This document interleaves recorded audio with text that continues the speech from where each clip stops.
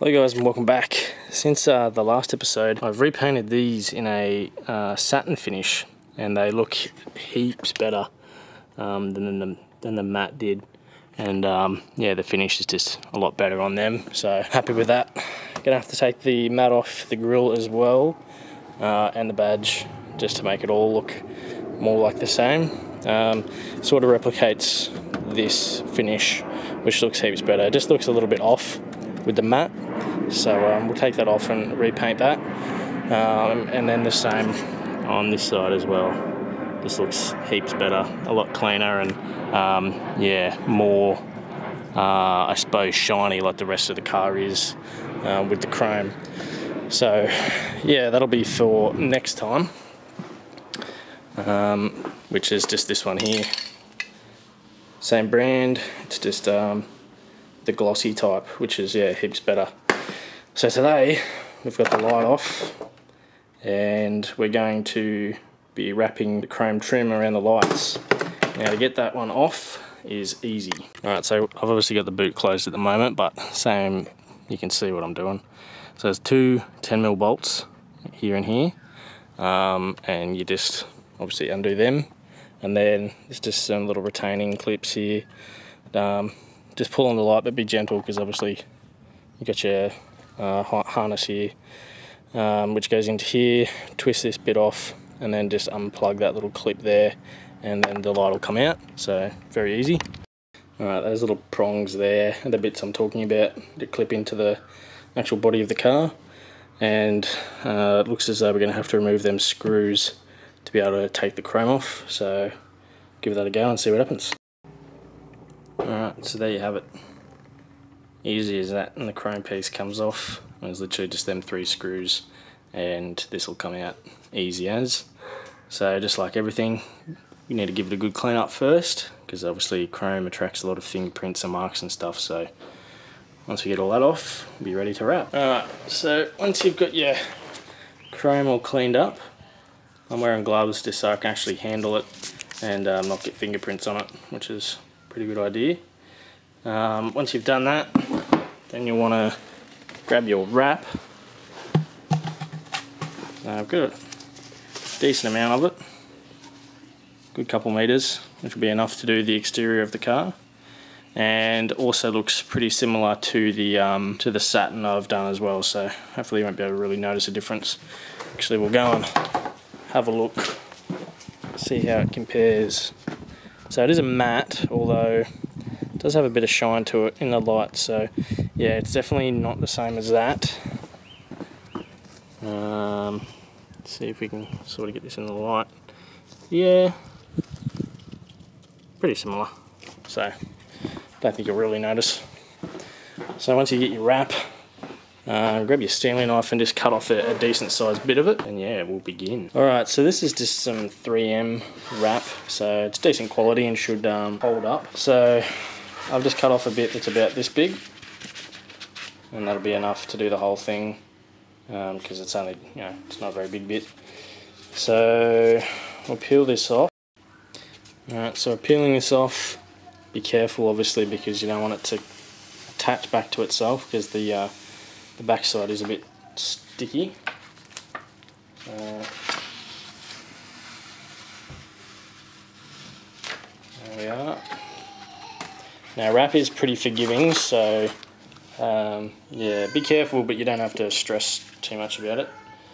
Um, so basically, ideally, if I had a bigger workbench, you just want to sort of grab it like this, sort of stretch it a little bit, and then place it over like that and pull down on it. Now don't stress too much if it's a little bit creased or whatnot, like this. So you can just slowly peel that side up a little bit. So it removes the crease and then pull it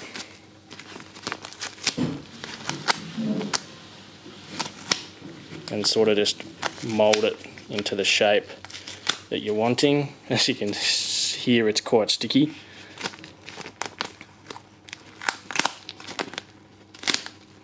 So Again, just like painting, it's all in the prep work, so yeah, just try and get it as best as you can.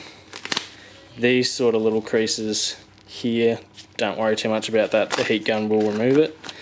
Now, you can also spray whatever it is that you're wrapping with just a bit of water and then that can also help when it comes to um, finalising the placement because you'll be able to move it around a bit but when it's just little things like this doesn't matter too much.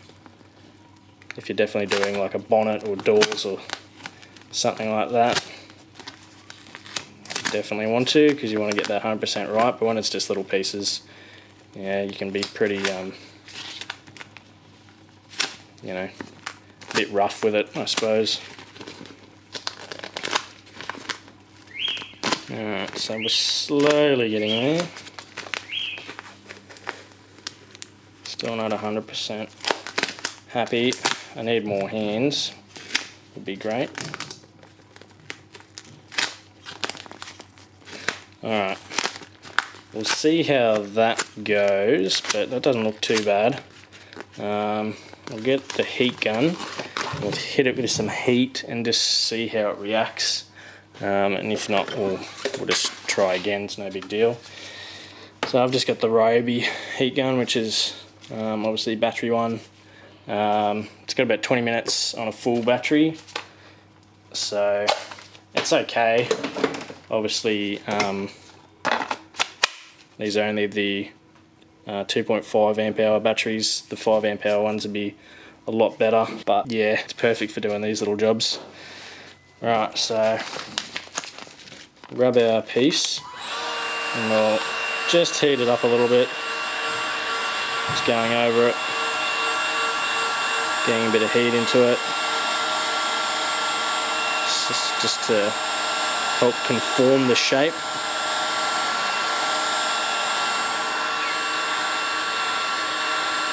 Now you've got to be pretty careful because this thing puts out quite a bit of heat um, and you don't want it to be actually melting the wrap so you don't want to spend too much time in one place.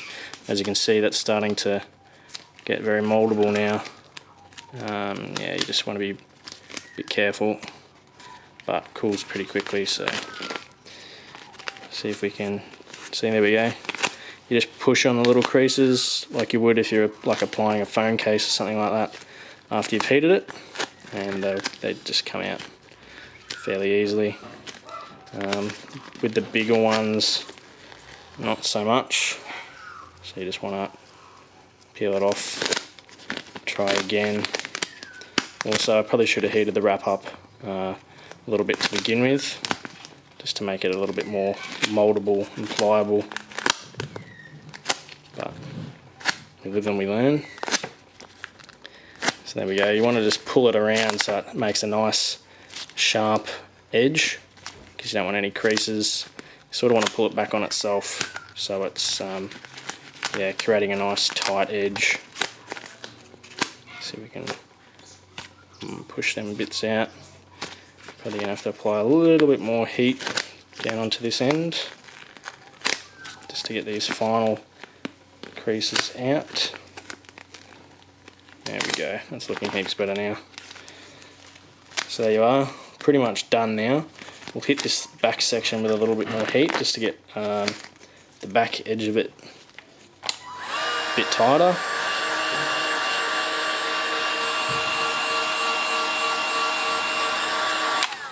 Like I said you don't need a heap of heat. And then yeah just I'm just using my finger just to push them out. A little bit of a crease here that's not really wanting to. Might need a bit more heat on that part. And then at the end just going to want to pull it tightly around again to create that nice sharp point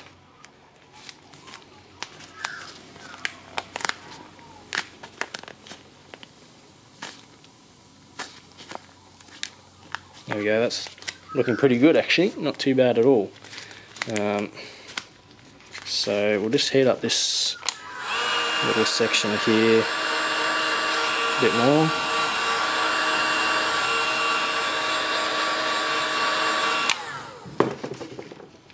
We'll just push that out. Yeah, it's pretty good. Push Obviously you want to push it to the end because it's basically just um, like trapped air really. A little bit tricky with gloves on because you obviously can't really feel what you're doing so much.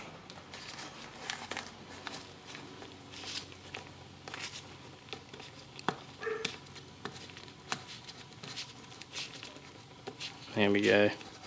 It's come away pretty well. It's not so bad. Just go along this edge a bit. Just to help shape it a bit more. And there's the finished result. Not too bad for, um, you know, five minutes work I suppose. So yeah, that looks pretty good. So now we're going to move on to the cutting part. Alright, so once you've gone around and you've made sure that you're pretty happy with how it looks, just want to pull the wrap out um, so it's not all sort of bunched up like this. Make sure you pull it all nice and tight and it'll just make it a lot easier to cut as well. So basically what you're going to do, you can take a razor blade, in my case I'm just going to take a Stanley knife um, and I'm just going to sort of go around the edge and also pull the, um, the wrap in along the side as I go along. So you just want to pull it out and just make your incision. You want to leave a little bit of wrap over overhanging just so then you can help to sort of secure it along the end so we just go along and we, I'm not fully cutting in until I get my hands ready in position to help pull just so then I know that I'm cutting where I want to be cutting and it's nice and tight and just makes it easier for the blade. And the Stanley knife isn't the sharpest but it's doing the job. So as you can see you start to you know remove the excess obviously and then you can go along the edge um, when you're done and um, just touch it up a little bit and make sure it's all nice and tight. So I'll finish this off and we'll get back to you when I'm done. Alright, so we now have our finished piece, which uh, doesn't look too bad. So now we're just going to go back over again with a little bit of heat and just finish off the edges, tidy up little bits like that, just fold them over and the same on this side as well, just so then we can get a nice seal on this side. You want it something like this along the side like that. Obviously I've gone a little bit uneven here but it'll work nonetheless. Um, and same on here as well. You want it to sort of just overlap a little bit so it helps to secure the wrap, uh, the wrap. so again back out with the heat. And just go along heat it up heat up the edges. Obviously you want to work in small parts at a time so just pick an end heat that bit up and then go from there. So just want to pull it squeegee out the bits of air. Might have to um, sometimes just lift up your corners a little bit, give them a bit of a pull and open them up a bit so the air can actually escape.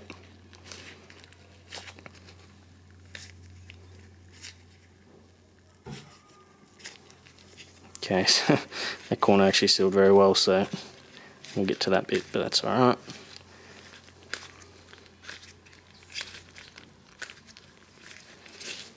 Now, I'm no professional, so, you know, this is just all for educational purposes, but I think it actually looks alright. So I just lift up this corner where this bubble's at a bit, just give it a bit of a lift, and see if we can push that bubble out. That's quite annoying. There we go. Got it now. Push it out and then pull your corners, fold them in, push them down so they're nice and tight. Obviously these parts fit up pretty tightly anyway so it'll help to hold it as well. Um, but yeah, that's not too bad. Also, do remember, you know, if you make little mistakes or whatnot and little imperfections and stuff on corners, don't worry about it too much because the light will help to hide a majority of it anyway. So it's mainly just the face of it you'll really want to be worrying about because that's the bit that'll be seen. Alright, so that's not too bad. That's alright. Can't complain with that. Pretty decent.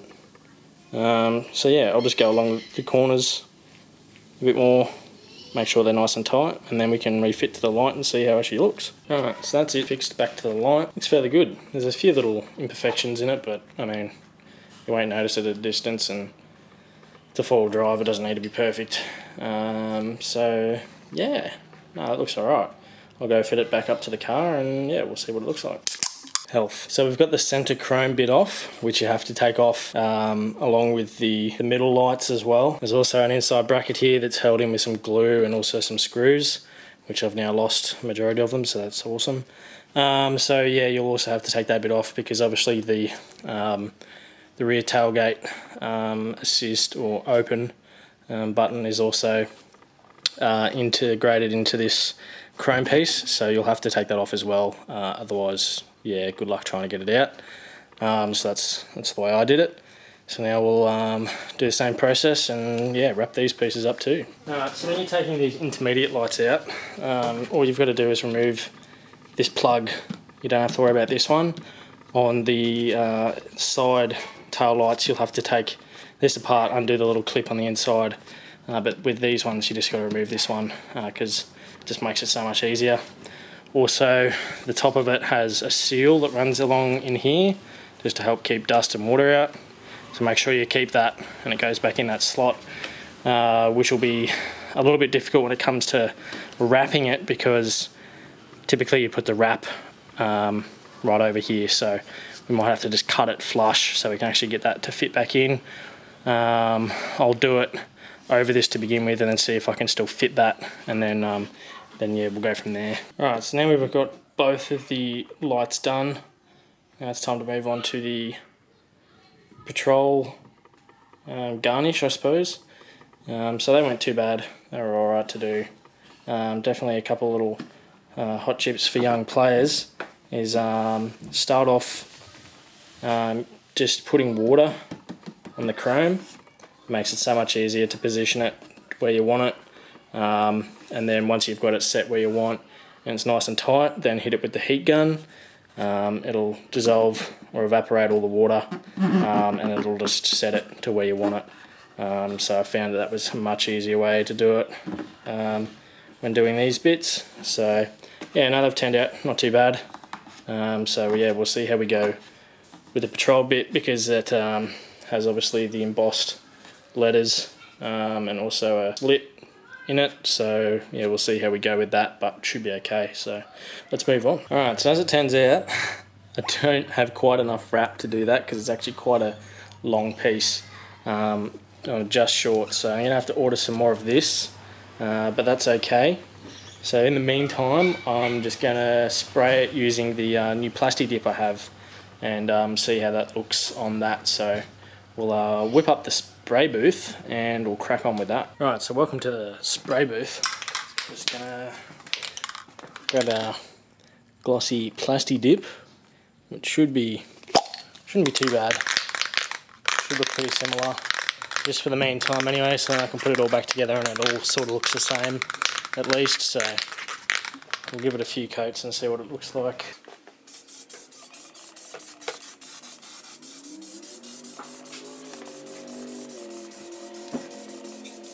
Yeah, it actually looks pretty good.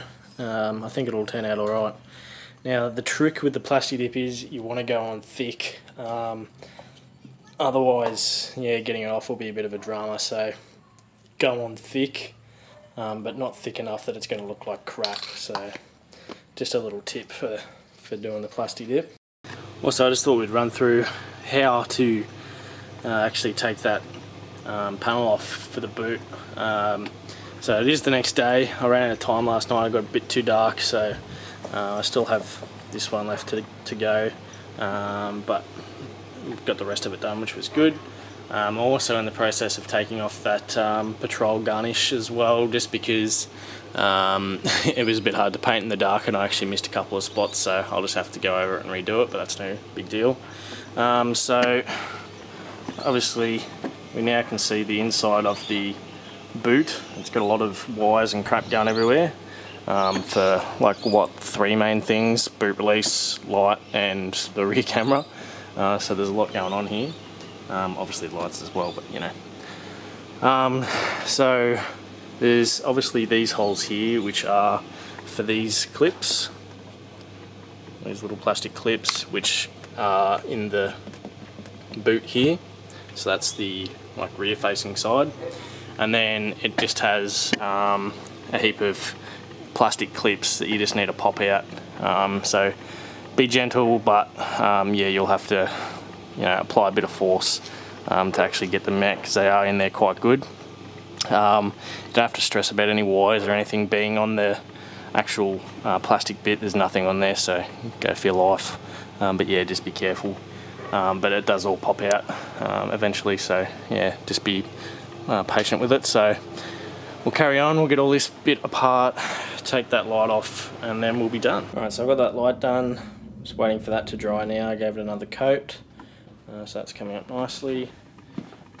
Now this is the uh, insert that goes in that, which has your camera and your boot release as well.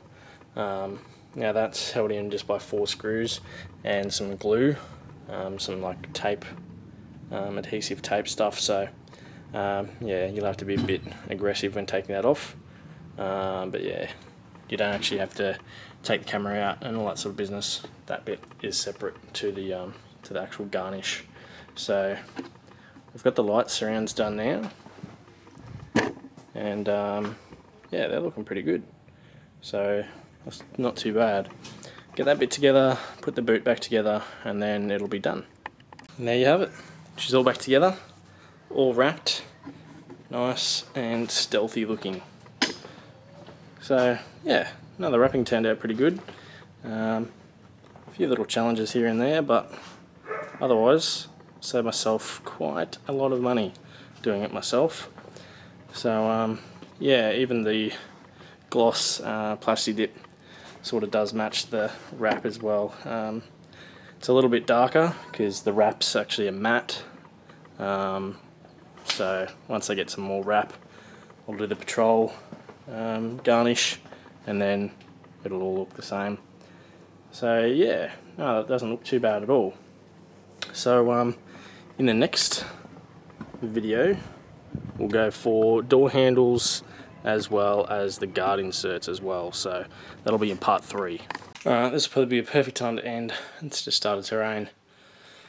So thanks for watching guys. Hope you've got something out of today's video.